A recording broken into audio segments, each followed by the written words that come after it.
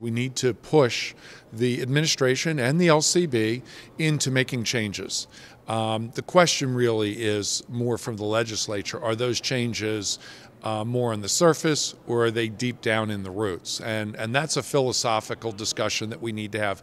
Uh, I was a little disappointed that they haven't been more progressive.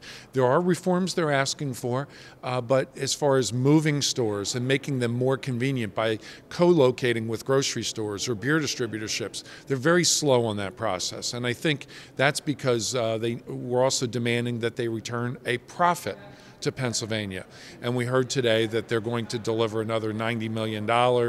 If you look at the total line items with taxes and all, uh, it's about 500 and some odd million dollars. It's a lot of money. Uh, so you, we constantly go back and forth between this push and pull, driving them to deliver more money but then creating reforms which may actually reduce the amount of money that they're able to deliver. So it's it's a push pull. It's very difficult to get through, uh, but um, we're going to keep plugging at it.